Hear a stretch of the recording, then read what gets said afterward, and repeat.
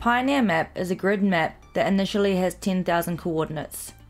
Each coordinate can be allocated to a specific metaverse. Positions on the Pioneer map are released by the BitCountry Treasury. The community and council will vote to determine the frequency of Pioneer map spot auctions.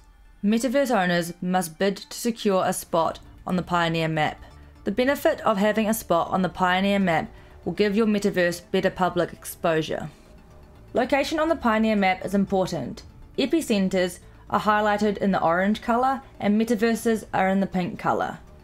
Ideally, you would like to position your metaverse as close as possible to epicenters.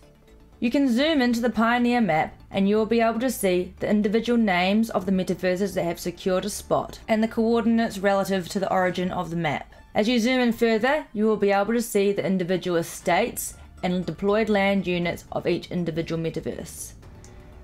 To get more information about that metaverse, click on the metaverse and to the side, information will pop up about that metaverse.